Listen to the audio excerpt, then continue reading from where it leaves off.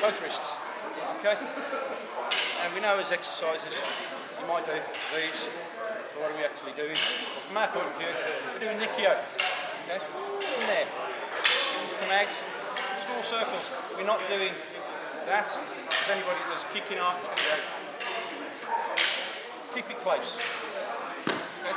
Turn the hands, the blade is in. Okay? Make sure his arms are bent for Nikyo. Nikyo on a straight arm won't work. Okay? My explanation, the next bit, Buddha's got a belly, Buddha caresses belly. Okay? Gone to there, scoops. Okay? Nikyo. You know, step backwards, bring him on, or just push him back, get rid of him. Your choice. But the opening is again relaxed.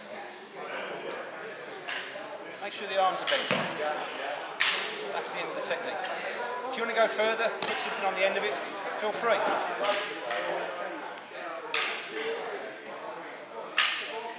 Nice and simple. Any questions? Again, initial opening is couldn't care less. I'm talking to you while I'm doing the technique. No strength, no effort. Tighter grip. Okay. It's got me now. Won't work. Okay, same grip. Now he's actually caught me lower down. He's cheating. Got him. No, don't, don't change it. Slow lower down. I can't flex my wrists. Why? If one becomes hard, okay, lock up, lock up, tight, tight, tight. Right, his left wrist is actually stronger than his right on that particular movement. So I will take the weak one. He's now thinking, God, that hurts.